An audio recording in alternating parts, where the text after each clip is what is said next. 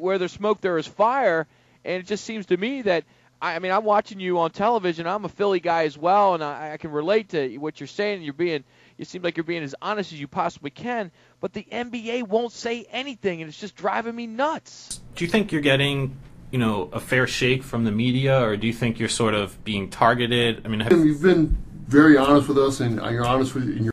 Well, Tim, I appreciate the visit and the uh, and the candor, and I wish you nothing but the best. And uh, however this uh, turns out for you, uh, I hope you and your uh, family can figure out a way to either get together or stay together or make it uh, right for your kids because I know you have four children and it's got to be Thank tough. you very much. Tim Donaghy, the new book, Personal Foul, a first person account of the scandal that rocked the NBA. Thank you for your honesty.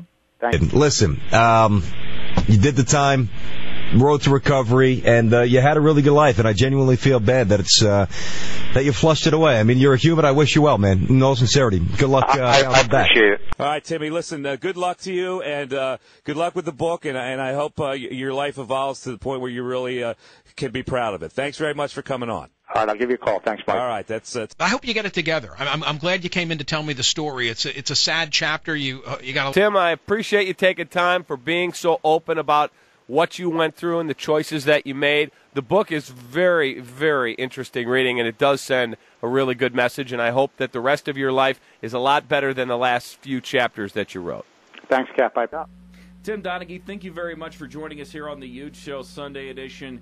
Uh, wish you the best with your recovery, and hopefully you can put the pieces of your life back together slowly. I hope some at some point that you can, you know, get back with your family. Uh, everybody turns their life around. I've turned mine around about five times, Tim.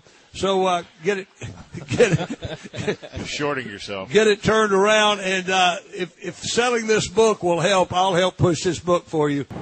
You know, you may find this odd, but I actually found your book very inspirational, and a, and a, I hate to use the word a great read, and I, and I certainly don't mean to enjoy the, all the unhappiness you've brought upon yourself, but you see, you know, someone who has totally hit the skids, totally, and at least it appears, you know, you, you came clean, and now you're trying to put the pieces back together, and I, and I know it's extraordinarily difficult, but you know, there is something that is refreshing about seeing someone trying to redeem himself and make it, make it work.